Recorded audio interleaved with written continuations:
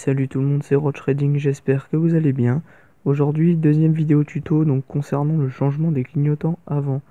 Là maintenant tout de suite et immédiatement, je vous propose un comparatif entre les anciens et les nouveaux clignotants.